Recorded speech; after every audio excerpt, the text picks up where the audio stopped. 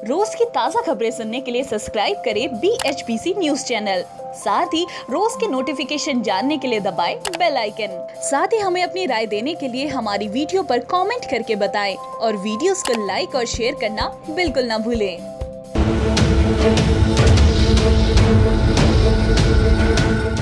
बेंगलुरु में स्वदेशी लड़ाकू विमान तेजस में गुरुवार, यानी आज रक्षा मंत्री राजनाथ सिंह ने उड़ान भरी। पहली बार देश के रक्षा मंत्री स्वदेशी लड़ाकू विमान तेजस में उड़ान भरने वाले थे। बेंगलुरु में स्वदेशी लड़ाकू विमान तेजस में गुरुवार, यानी आज रक्षा मंत्री राजनाथ सिंह ने उड़ान भरी। वह ऐसा करने वाले देश के पहले रक्षा मंत्री बने। आइए आपको बताते हैं कि तेजस की खासियत और उसके इतिहास क्या है।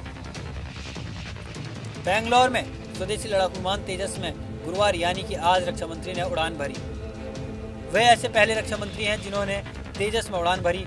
और साथ ही वायुसेना के किसी भी जहाज़ में उड़ान भरी।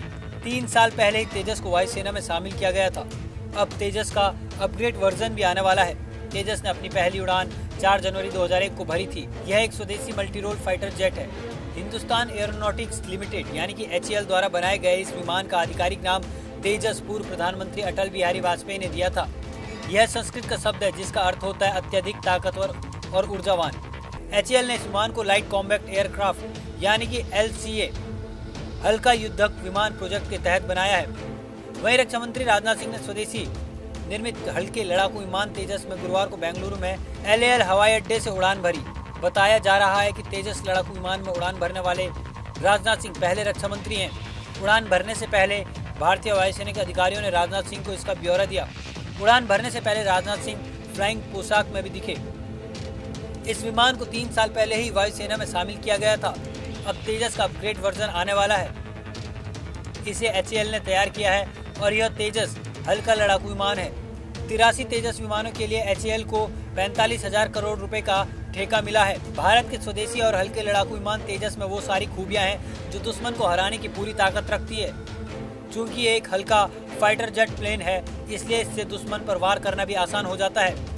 यह चीन और पाकिस्तान के लड़ाकू विमानों को कड़ी टक्कर दे रहा है। आपको बता दें कि तेजस को बनाने में लगभग 300 करोड़ रुपए खर्च होते हैं। ज़्यादातर भारतीय तकनीकी होने के बावजूद इस लड़ाकू विमान का इंजन अमेरिकी है। रडार और वेपन सिस्टम इसराइल का है और इंजेक्शन सीट ब्रिटेन का है। तेजस का वज़न 12 टन है और इसकी लंबाई 13.2 मीटर है। इसके पंख का फैलाव 8.2 मीटर है, जबकि ऊंचाई 4.4 मीटर है और रफ्तार 1350 किलोमीटर प्रति घंटा है। दुश्मनों के विमानों से निपटने के लिए इस्तेमाल होने वाले इसका मिशन कंप्यूटर भारतीय तकनीकी पर आधारित है। इस लड़ाकू विमान में आर तिहत्तर air to air missile, laser guided missile और beyond visual range Astra missile लगाई जा सकती है। इस जेट को बनाने में भारत निर्मित कार्बन फाइबर का इस्तेमाल किया गया है। इसकी वजह से यह हल्का और धातु के मुकाबले बेहद मज़बूत है।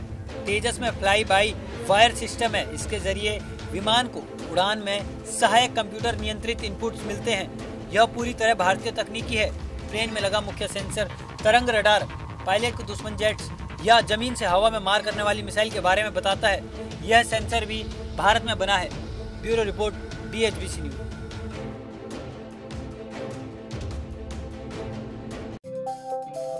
रोज की ताज़ा खबरें सुनने के लिए सब्सक्राइब करें B H P C news channel. साथ ही रोज के नोटिफिकेशन जानने के लिए दबाए बेल आइकन साथ ही हमें अपनी राय देने के लिए हमारी वीडियो पर कमेंट करके बताएँ और वीडियोस को लाइक और शेयर करना बिल्कुल ना भूलें।